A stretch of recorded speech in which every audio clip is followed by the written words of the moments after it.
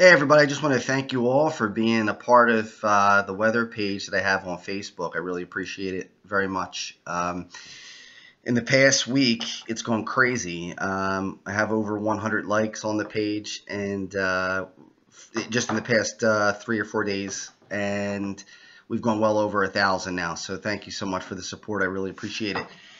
Um, really, there's there's two things that I do with this website that I, are important to me. One is I want to be the first to warn you about potentially large storms. That doesn't mean they're predictions. I always try to alert you first. I want to be the first one to let you know that there could be a big storm coming, whether it's snow or whether it's a hurricane or whatever. But obviously, mainly snow is my my forte as far as weather goes. So I want to alert you immediately. Secondly, I want to get it as accurate as possible, obviously, like any good forecaster would want to do. So that's why I've been telling you over the last two days that a large storm was coming, even though that the local media was downplaying it, which I think was a mistake. I think it's better to warn people ahead of time. Uh, just think back to last Sunday when nobody was warned about the ice, and we had a 60 car pileup and fatalities. So I think it's important that people know what is potentially coming. That doesn't mean it's a forecast. It doesn't mean that it's definitely going to happen.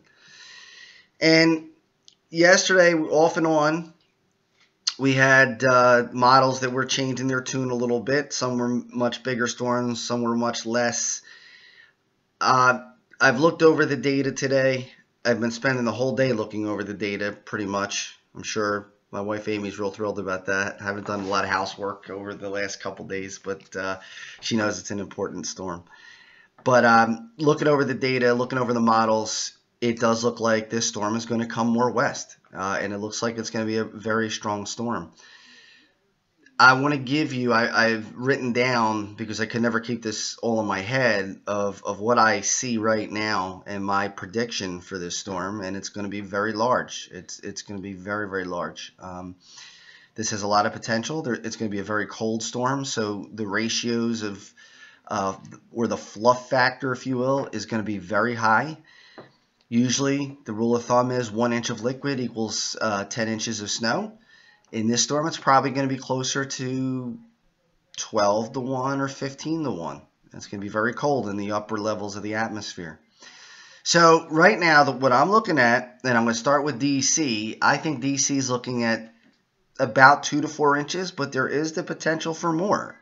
If the storm digs a little bit more to the south, if there's rapid intensification, and it comes closer to the coast, and yeah, they might see more than four. They could see six. They could see eight. Just depends on how much. But right now, I would say two to four. Baltimore, I'm going with three to five. I think Baltimore's got a little bit more potential because they are further north. Um, the further north you go, the better shot you have of seeing some heftier snowfall. So three to five for Baltimore.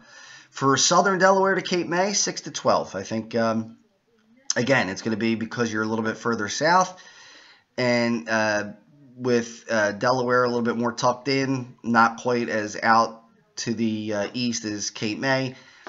I would see the 12 closer to Cape May, southern Delaware probably closer to 6 8 somewhere around there. So I'll go 6 to 12, but again, there's there's some bust potential there, could be higher.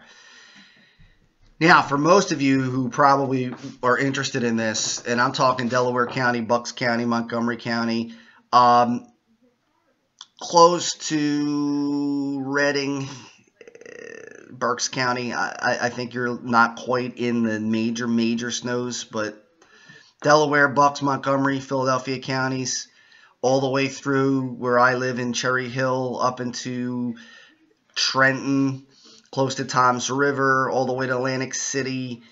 Um, I'm looking at believe it or not, 15 to 20 inches with this storm, and there's going to be some lollipops in there, probably close to two feet and maybe a little bit higher. Somebody might be able to pull off a 30 in that area, especially if you get close to Trenton or uh, a little bit higher up into uh, New Brunswick, New Jersey, and those places. They, they're going to see at least uh, 15 I, I can't see them missing 15, and the, and they're probably going to see closer to in the 20s, two feet, and like I said, chance for 30 up there. New York City, unbelievable. Absolutely unbelievable. 20 to 30 inches of snow in New York City. You heard me right. 20 to 30 inches of snow in New York City. Long Island, 24 to 36. Three feet of snow will not be out of the question on Long Island. Again, this is all according to the models right now. Southern New England, a little bit more. 30. Some places might see up to 40, maybe 45. Somebody might even get 48 inches, 4 feet of snow. It is within the realm of possibility. This storm is developing right now. We're, we're going to get hit with it first as a clipper. It's going to come through, and then it's going to dig to the south. It's going to redevelop off the coast. Uh, not quite sure how far south it's going to develop, but it's, it's probably far enough south that it's going to um, be able to uh, last for quite a while as it comes up the coast. It's going to be moving very slowly. So if it develops off the uh, North Carolina coast or if it develops off of the Virginia coast, the further south it is, the better it is if you want snow up in the Philadelphia area. It's a slow moving storm. Um, so as it's bombing out off the coast, it's going to move very, very slowly up the coast and that's going to prolong the snowfall. There could be thunder and lightning involved, thunder snow. Um, when you get thunder snow, you could see snow falling at two to four inches an hour, and that's predicted right now for New York City. They have blizzard warnings up there. Uh, Philadelphia, I think there's a chance for thunder snow, but certainly more so as you move towards New York.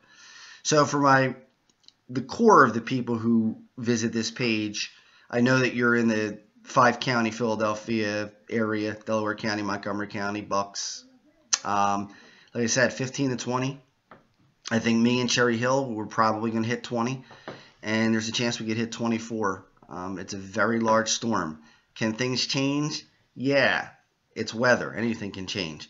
But this is not hype. This is based on models. This is based on the euro, especially, which has been coming in with very high numbers. Um, just tremendous amounts of snow with this. This is going to be a record-breaking storm. The only thing that's going to stop this from being a blizzard in Philadelphia is the fact that they think the winds aren't going to be strong enough in Philadelphia. But I do think there'll be blizzard warnings going up along the Jersey Shore, and, and I think that will include Atlantic City at some point. I, right now, it's north. There's a blizzard watch uh, and blizzard warnings for New York uh, and the uh, Jersey coast up towards New York and up towards Long Island. I think that will be uh, push down south a little bit more. So it's going to be a record-breaking storm. Please check back. I'm going to be uh, updating periodically. I don't think I'll be doing videos uh, that much, but uh, certainly I'll be typing some um, messages in there. So this is a big one. Get ready. If you haven't gone shopping yet, you're probably too late. There's probably people already uh, mobbing the stores. That's why I try to tell you ahead of time to let you know. So thanks again for the support and be safe out there in that snow. It's going to be tough.